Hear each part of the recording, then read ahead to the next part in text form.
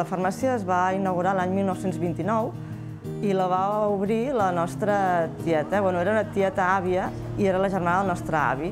Quan va obrir la meva tia l'any 29, va ser la primera dona farmacèutica en obrir una farmàcia aquí a Reus. Només n'hi havia vuit i ella va ser la primera, perquè tenia un pare molt modern, molt progressista, que la va ajudar doncs, a estudiar, anar a Barcelona en aquella època que molt poques dones hi anaven. La farmàcia no es va tancar mai, ni durant la guerra. La tieta venia cada dia, va obrir cada dia la farmàcia. Ells, durant la guerra, van anar a viure en un mas que els va deixar uns, uns amics. Cada dia venia des del mas, que estava una mica lluny, caminant, i obria la farmàcia i ell ens explicava doncs, que quan, sonava, quan hi havia un, una alarma doncs, havien de córrer i amagar-se al refugi però ella no va tancar mai la farmàcia, mai. La farmàcia està igual com ella la va inaugurar l'any 29.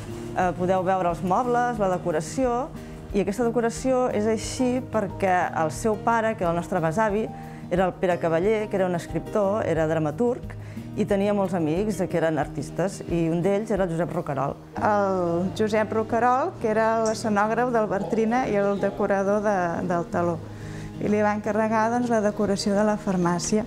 I per això, si mires la farmàcia, doncs, recorda una mica un teatre. L'ofici de farmacèutic respecte als anys 30 ha canviat molt perquè eh, abans s'havia de preparar tot, els farmacèutics tenien els principis actius i els havien de preparar doncs, píndoles, òvuls, supositoris, tot això que ara ja ve preparat dels, dels laboratoris. Abans eren farmacèutics elaboradors i ara més som farmacèutics dispensadors. Bé, jo crec que és important que, la, que les farmàcies estiguin properes a la gent i que la gent vingui i nosaltres els hi podem donar molts consells, que de fet és el que fem, els escoltem, els atenem i intentem solucionar els problemes de la gent i per això crec que és molt important que la gent vagi a comprar a la farmàcia propera o, o a la farmàcia que ells ja tenen confiança. Si vas a comprar a prop de casa, doncs ajudes en aquell establiment a aixecar la persiana cada dia, així els carrers doncs, són més segurs, els establiments donen llum, donen seguretat i donen vida. Persones que fa igual més de 50 anys que venen aquí i això s'agraeix molt, els clients fidels s'agraeixen molt. A mi el que més m'agrada estar a la farmàcia sobretot és el contacte amb la gent.